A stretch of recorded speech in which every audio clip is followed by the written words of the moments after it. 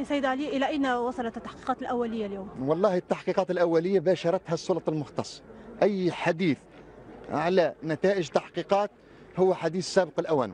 ومعروف أن الجرائم السياسية هي جرائم متشعبة يتداخل فيها المنفذ والمخطط والممول والمبرمج وعادة ما تتطلب وقت. لذلك أنا لا أتعامل في هذه النقطة بالعاطفة.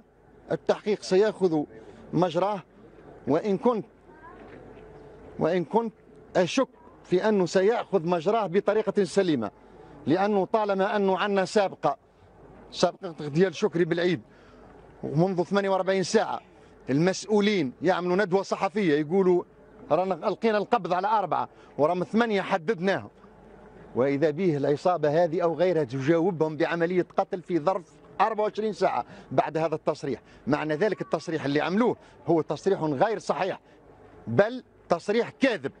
ماكينة القتل تستمر وماكينة القتل في ظل الفشل هذايا راهي باش تستمر. والشعب التونسي يلزم يتحمل مسؤوليته. كما تحمل مسؤوليته في كنس النظام السابق عليه أن يتحمل مسؤوليته الآن. وإلا تونس راهي ماشية إلى الانهيار.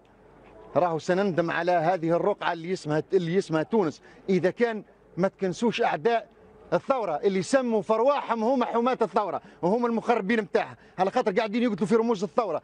أم حسبتم أن تدخلوا الجنة ولما